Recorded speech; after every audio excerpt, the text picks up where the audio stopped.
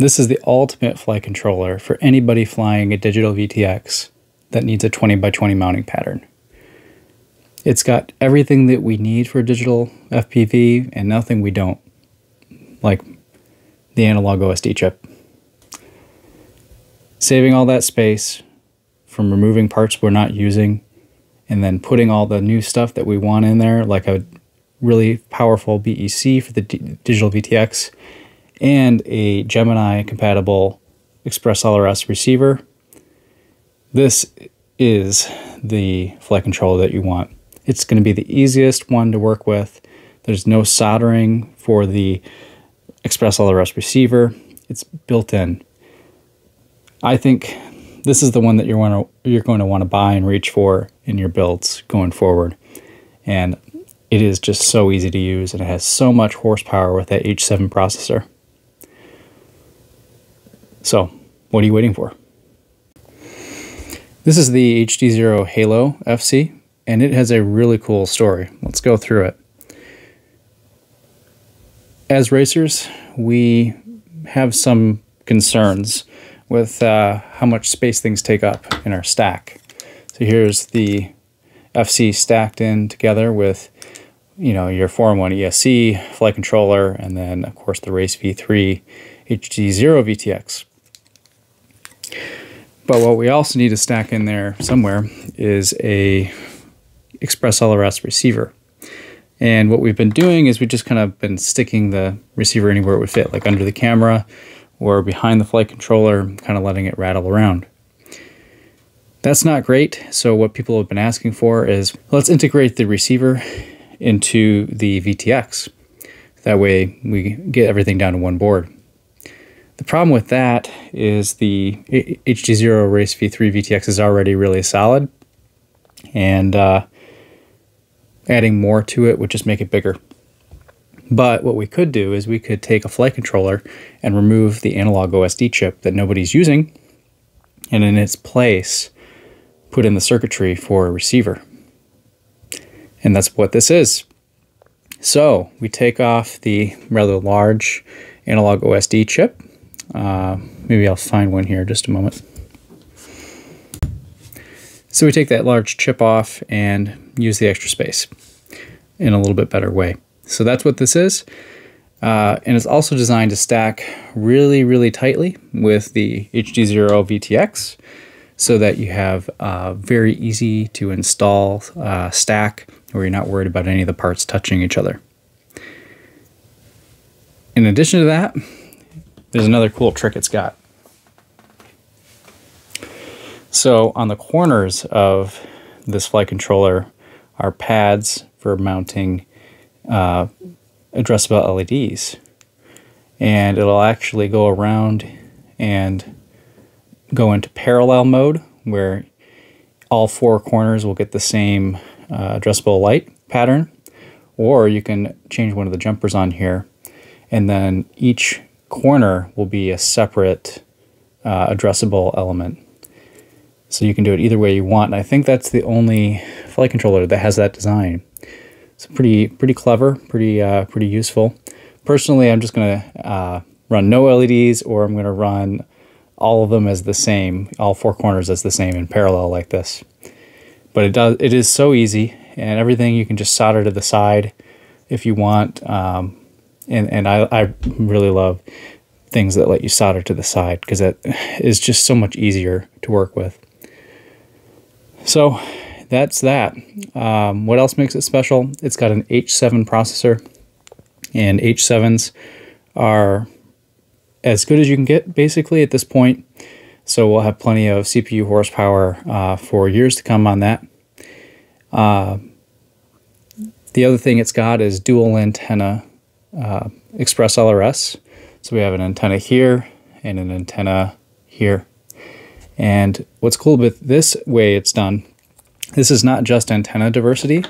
This is called a Gemini mode uh, where each antenna can operate on a slightly different 2.4 gigahertz frequency and receive uh, the same control signal from two frequencies at once, which is going to increase the reliability of your connection quite a bit. Uh, to use it though, you'll need a Gemini compatible transmitter. If you don't have that, uh, then I do think that this will operate in a mode where it will use both antennas as antenna diversity.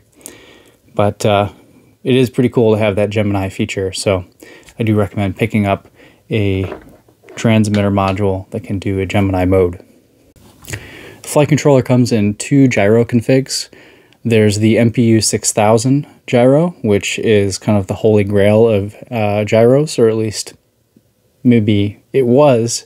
And I, I think it's starting to get replaced by very well implemented ICM gyros.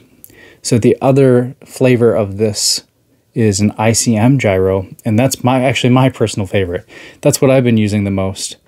Uh, over the years, I've, I've used tons of MP6000 flight controllers, love them, and I do have that in my hand right here. This is an MPU6000. But what I've actually got installed in my drone is the ICM gyro version of this flight controller because I actually think it might be a little bit better than the MPU 6000. There's some people that will disagree, and for you, you can buy the MPU 6000 version. The problem is the MPU 6000 is end of life for the most part. Uh, what that means is that it costs more money. So the real cool bit about this flight controller is it includes a Gemini mode Express LRS receiver, which is like a 20 or $25 part, and an H7 processor with a digital uh, BEC on it, all for $65, which is very low. A lot of these flight controllers sell for $65 just themselves or even higher especially with an H7 chip on it. So in a way, you're kind of getting a free Gemini mode Express LRS receiver with this, which is just so cool. Making this just one heck of a value for anyone that needs a high performance, easy to build flight controller. Okay, so let's take a look at what comes in the box. You've got gummies, of course, and a cable here.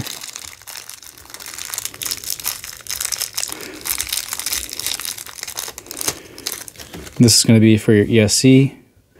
Do note that this cable pinout is probably not going to match your ESC. This is the new Betaflight standard cable pinout, and you'll need to repin it to match the ESC that you'd be combining this flight controller with, most likely. So please pay attention to that, or you could nuke it. Also, we have two heights of gummies. I always opt for the uh, the smallest gummy, which is this one here. But uh, if you need it, go for the taller one. This is to restrain the Express LRS antenna. So what you do is you fold it over like this, and then you put the antenna wire through the fold like that. So that's that. And then further into the box we go. And there's two T antennas. So this is a short antenna. And then here is a long antenna. And the idea being for the short antenna, let's mount that on the top plate of the drone or close to the flight controller. And then the longer antenna, let's stick that further away out on an arm. The antenna is actually a really high quality. Um, I've been pretty impressed with this. I'm not to knock Happy Model too much, but that's typically the antenna that I use is a Happy Model antenna, and a lot of times it comes apart right here uh, where it touches the body. This looks like it's going to be a lot stiffer and a lot stronger than that antenna, but only time will tell. It also has some nice uh, kind of ridges on it to grip onto uh, grip onto zip ties for holding it onto an arm. So I'll show you here how I've got it mounted on mine. So this is on the top plate here, and then I have out on the arm, it mounted crisscross with two zip ties, and it's very rigidly attached.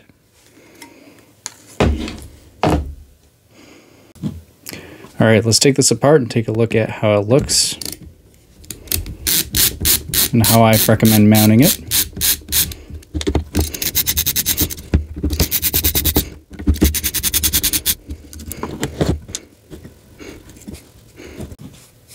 So I recommend mounting it with the Race V3 like this, where the uh, UFL is actually in the front and then works its way back. You can also flip this around 180 and have the UFL in the back, and that works okay as well.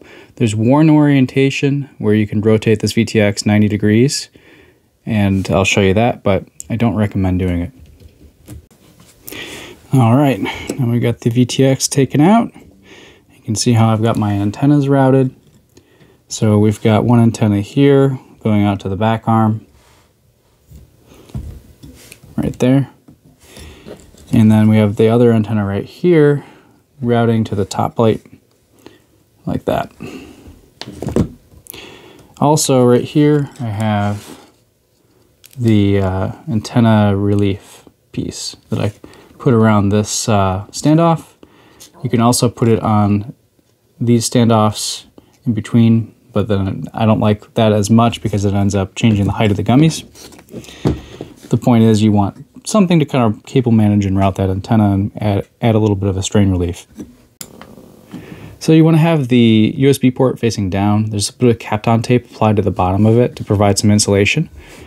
So it's a little bit risky, but also you'll be protected from shorts that way. You can actually you can actually use some thinner gummies on your Race V3 with this flight controller because all of the parts on the top are very uh, low profile. And these antennas here and here were placed in a, in a way that it wouldn't touch certain parts of the Race V3 on the bottom side. So you can rotate this VTX 180 like this and put it down. You could also rotate it, I believe, like, uh, yeah, like this going to be a little bit hard for you to see, but you can rotate it like this and put it on if you need it like that. And that'll be a pretty good low profile stack without anything touching.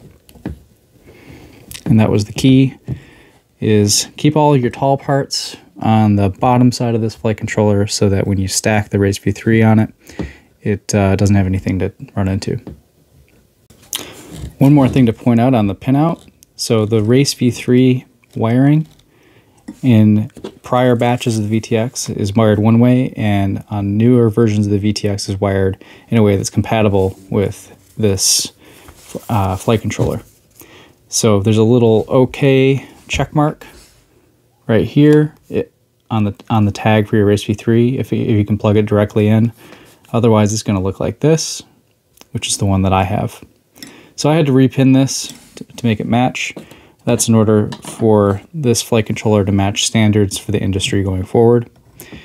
It's very likely uh, DJI O4 or other digital VTX is going to have the same wiring as this new pinout.